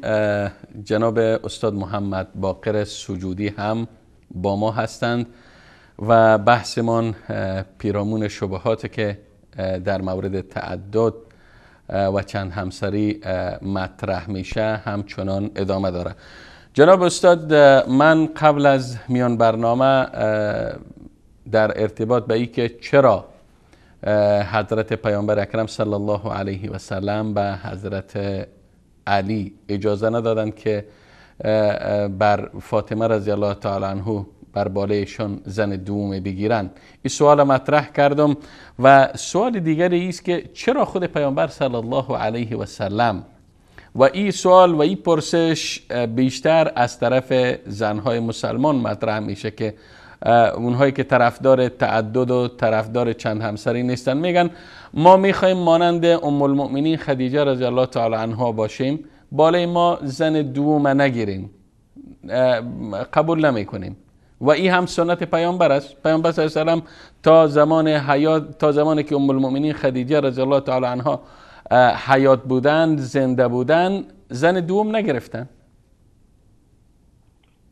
عرض کنم خدمتتون اولا که سوال اولتون رو من یک نکته که باید اصلاح کنم در مسئله اینکه شما گفتید که به حضرت علی اجازه ندادن بله. در حالی که پیامبر فرمودن من حلال خدا را حرام نمی کنم پس اجازه دادن. بهش گفتن که باید که چون که فاطمه دوست نداره اکراه داره. اکراه من اصلا اینجور دیگه اول اون سوال اول مطرح کنم یه که به شما از شما یک سوال می‌پرسم. آیا این زن می‌تونه از مرد خود خلع کنه طلاق بگیره یا نمی‌تونه؟ بله می‌تونه. می‌تونه. کراهت یک دلیل اینو می‌دونید حتما که کراهت یعنی زنی اومد پیش پیامبر حضرت زینب بود زینب بن قیس بود گویا گفت یا رسول الله من شوهرم رو در دینش من اصلا متهم نمی کنم در اخلاقش متهم نمی کنم نمی‌خوام خود گناهکار کنم. ولی دوستش ندارم. پیامبر گفت طلاقش بده. پس مسئله این است که این که من اجازه نداد یک حرف است گفت که من نمی‌خوام. من نمی‌تونم. اون حرف دیگه است. خب حضرت علی سبک سنگین کرد. اگر دختر دیگر دید خوشش میومد دید که بهتر از حضرت فاطمه است خب حضرت فاطمه رو ول می‌کرد. پس دید بهتر نیست. شرط قبول کرد. حالا بریم سر جواب سوال شما دوم شما. بله. حضرت خدیجه سنش هم زیاد بود. من من جوابم اینه. حضرت خدیجه پول دارم بود. حضرت خدیجه رو مثال پیامبر دوست داشت این سنت است پیامبر. هر لباسی که بپوشه که سنت نمیشه که. سنت اونی است که پیامبر به ما بگه که این سنت منه. پیامبر نگفت که سنت من این است که زن اول مرد. این یک تعویلی است که خب مردا مردا مردا جناب استاد جناب استاد مردها میگن تعدد و چند همسری سنت پیامبر صلی الله علیه و سلم است. زنها هم حق دارن بگن که یعنی پیامبر صلی الله علیه و وقت بر ام المؤمنین خدیجه رضی الله تعالی عنها زن دوم نگرفت. این هم سنت است؟ ببینید قبل از اینکه سنت باشه اجازه خداوند هستش در قرآن که مرد بله. می‌تونه دو تا سه تا چهار تا بگیره. پس این یک حکمی از خدا اما ما ندیدیم که خداوند در قرآن در یا جای پیامبر در جای من کرده باشه یا مثال گفته باشه که این اکراه داره که من مردی که زنش چی هست زن اولش هست بگیره. باز این زن اول که با سن زیاده. پس اگه اینجوری ما باید یک تفسیره بذاریم که اگه زن سن زیاد بود سعی زن نگیره چون به زودی خواهد مرد. چون که اگر قرار باشه معمولا که مردا زودتر از زنا میمیرن. اگه اینجور باشه دیگه اصلا تعددی نداریم. اگر شما میگید سنت پیامبره پس بره مرد اول زنه. اصلا این سنت نمیشه که من حتما باید چون پیامبر زن 40 ساله گرفت یا 45 ساله گرفت یا مثلا 50 ساله گرفت منم 50 ساله بگیرم. اینو کسی نگفته سنت پیامبره. و این اولین بار است که میشنوم. جناب سیغل شما طرفداری می‌کنید از خب این استدلال اه، خانم جناب استاد این پرسش ها و این شبهاتی است که مطرح میشه ولیکن آخه دی- دی- محلی از اعراب نداره. چرا ما یعنی پس همه مردا به نظر 40 ساله بگیرن؟ چون که سنت پیغمبره. اینجوری که نگفته پیامبر. گفته خب. زن بگیرید. خب. بله. بعدش جناب استاد میگن چند همسری باعث کشیدگی و پراکندگی و بالاخره از همگسیختگی بافت خانواده ها میشه و بعض معضلات اجتماعی دیگری هم رونما میگرده. مثلا طرف مقابل برادر همسر راضی نیست پدر همسر راضی نیست. بالاخره یک درگیری میان خانواده ها رخ میده. اصلا چرا چرا دست به کار بزنیم که بافت اجتماعی جامعه را از هم بپاشه؟ آقا اولا که ببینید چرا راضی نباشه. اگر راضی نیست همون کاری بکنه که پیامبر گفتن. گفت بگه آقا مثلا دختر من راضی نیست. می‌خوای زن دیگه بگیری یا فلان کسی بگیری. ما راضی نیستیم دختر من ول کن. حد اکثر این حق دارن. هیچ در دلیل به دعوا حق ندارن. اما اینکه شما میفرمایید که در خود خانوادگی کشیدگی و دعوا پیش میاد. من یادم میاد که یک دوستی تعریف می‌کرد که در مجلسی نشسته بودم. یک مردی دو زنه بود. خونش دعوا و جنگ و اینا زیاد بود. یکی دیگه برادرش یک همسره داشت. این همیشه برادر خود چی می‌کرد که؟ این میگه خیلی دعوا داره اینا. میگه من که تو مجلس بودم دیگه طاقتم نمیومد به همونایی گفتم شما که یک زن دارید با همسرتون دعوا نمی‌کنید. گفت والا ما هم دعوا می‌کنیم. خب گفت دعوا در هر خونه هستش. حالا البته در بعضی جاها که دعوا زیادتر بین دو مردی که دو زن داره دلیلش این است که طرف خوب رعایت نمی‌کنه. خوب به اصطلاح عدالت رو مثلا برقرار نمی‌کنه خونه جدا برش نمی‌گیره اتاق جدا نمی‌کنه زندگی رو جدا نمی‌کنه باز میگه دعوا نباشه. نمیشه که. ولی که دعوا بین دو خواهرم میشه بین مادر و دخترم میشه. نمیشه شما اینو به گردن هم دو همسری بندازید. بلکه به نظر من دو همسری دعوا کمتره. چرا که مرد به نظر من. چرا؟ بله. که مرد چون دو همسر داره اگه در یک جا مثال به خواسته خود نرسید زیاد احترامش نکرده این هر چی همسر دوم هست. بعد این رقابت بین همسرها باعث میشه که اونام دعوا نکنن. چون میگه زن مرد یک شب اینجاست یک شب اونجاست. ما به طور عملی می‌بینیم که مردای دو زنه بخش اونی که عدالت داره. اگه عدالت نداره اصلا دو زنه نیست. و من به شما عرض کردم اول صحبت های خود که اکثر مردا که دو زن می‌گیرن عدالت نمی... ندارن. و این مشکلاتی است که حکومت اسلامی هم نیست که جلوی اینا رو بگیره برن آقا شکایت کنن به بزرگتر. که این چرا عدالت رو برقرار نمی‌کنه یا ول کنه؟ یا عدالت داشته باشه. خب وقتی که عدالت باشه دعوا واقعا کمتره. و اینکه میگه بین بچه هم دعوا میشه. ما که اونجایی که دیدیم اگر که مرد خوب رفتار کنه عدالت برقرار کنه برادرها بعد از که بزرگ شدن اصلا مادرها رو کار ندارن. خواهرها که بزرگ شدن چون که تقریبا همسن هستن. ما که اینجوری دیدیم اکثر اوقات مگر اینکه یک جای کار از اول ایراد داشته باشه. مثالی براتون می‌زنم. میگن که شیرخالگی میگن که ازدواج دختر دختر عمو و پسر عمو یا دختر خاله و پسر خاله میگه بچه عقب مونده میاد. من که تحقیق کردم علت عقب موندگی اینه که این مادرها وقتی کوچیک هستن این بچه همدیگر شیر میدن بچه همدیگر شیر میدن اینا خواهر برادر میشن. در نه از لحاظ علمی اصلا کسی نتونسته ثابت کنه که دختر و پسر دختر خاله و پسر خاله یا دختر عمو و پسر عمو عروسی کنن چی داره. کار از کوچیکی خرابه که اینها مادراشون ثبت نمی‌کنه شیر میده باز اینا که بزرگ شدن خواهر برادر که عروسی کنه تمام بچهش الله. ناقص به دنیا میاد. خب اه، جناب استاد باز هم سوال بعدی. یکی از اهداف اصلی ازدواج تکثیر نسل و افزایش نسل است. به نظر شما وقت میگن شما یعنی مسلمان ها را متهم می‌کنن مخالفین که وقت شما دست به چند همسری می‌زنید و اولادهای زیاد به دنیا میارید این در حقیقت شما به شکل از اشکال در گسترش فقر سهم می‌گیرید. نظر شما در ارتباط چیست؟ اشتباه من از شما دو تا سوال می‌پرسم با شما که جواب دارید من خودم هم جوابش میگم. شما می‌دونید که چهارمین قدرت اقتصادی دنیا کشور هنده باورتون میشه؟ بله. هند که جمعیت مملو است در یک کشور بسیار کوچیکی که یک میلیارد حالا در از چین هم جلو می‌زنه. دومین قدرت بزرگ دنیا چینه جمعیتش کمی یا زیاده همین ژاپن همین انگلیس همین فرانسه همین آلمان در یک جای کوچیکی میلیون ها انسان توی زندگی می‌کنن. جمعیت زیاد باعث برخلاف اون چیزی که به سر ما کلا گذاشتن. اما زندگیشان بهتر نیست جناب استاد. اما زندگیشان بهتر نیست. در ما هند این رو تجربتا به شما عرض می‌کنم که چنین چیزی نیست. الان تو ایران ما مردم دو تا بچه دارن ها؟ هشتشون گره نوشونه. چرا؟ برای اینکه در خانواده پرجمعیت من راست چون که من افغانستانم دیدم. فواید اصلا یکی دوتا نداره. از هر خونه در بچه می‌زنه بیرون. خب نه آمریکا می‌تونه بگیردش نه روسیه می‌تونه بگیره نه هیچی. چرا که جمعیت زیاده. جمعیت زیاد قدرت برای جامعه حالا اون بحث جداست. شما میگید فقر داره. نیست اینطوری. من اکثر کسایی که دیدم که مثلا تو ایرانیا که کمه اما تو افغانا هستن که 10 تا برادرن 11 تا برادرن.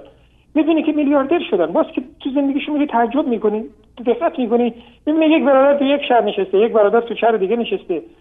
این نیست. برخلاف اون چیزی که میگن تصوری که هست این بچه ها که در خانواده بزرگ باشن زود بزرگ میشن. شما تو خانواده هایی که مثلا یک پسر داره می‌بینید بچه 35 ساله شده هنوز بچه است.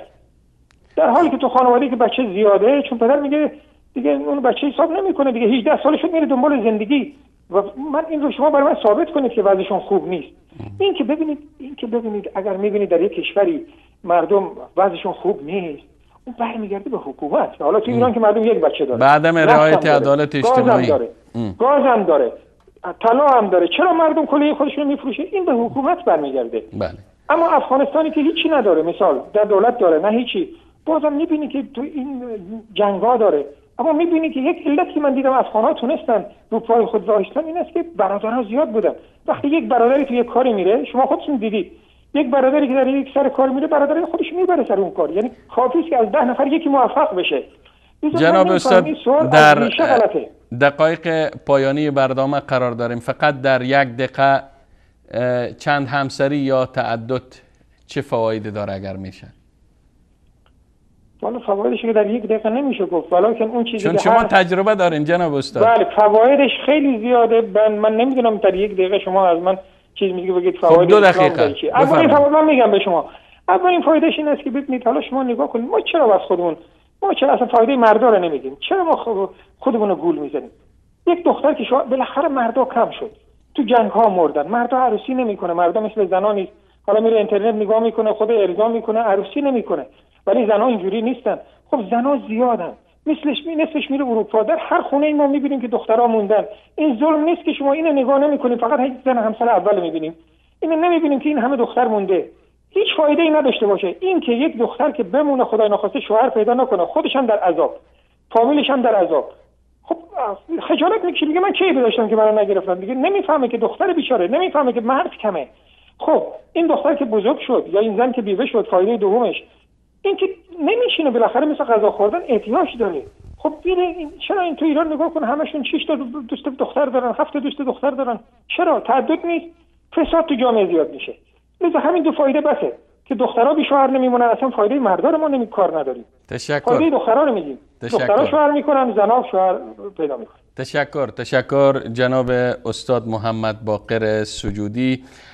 از شما جهان سپاس و امتنان دارم که باز هم دعوت ما را لبیک گفتین و در برنامه دیگر از سری برنامه های بازسازی اندیشه وقت گرانبهایتان را در اختیار ما و بیننده های عزیز و گرامی گذاشتید. تشکر استاد. خوشحال من سلامت باشید جا دارد که در پایان از جناب استاد عبدالرحمن فاتح که در بخش اول برنامه با ما بودند و پیرامون بحث میراث صحبت های داشتن. از اینها هم جهان سپاس و امتنان دارم. و بار دیگر از جناب استاد سجودی و از تک تک بیننده های عزیز و گرامی که تا این لحظه با ما همگام و همسفر بودن. از اونها هم تشکر فراوان دارم و تا برنامه دیگر و دیدار دیگر همه شما عزیزان را به پناه یکتای بی تا می سپارم. خدا یار نگهدارتان و السلام علیکم و رحمت الله تعالی و برکاته.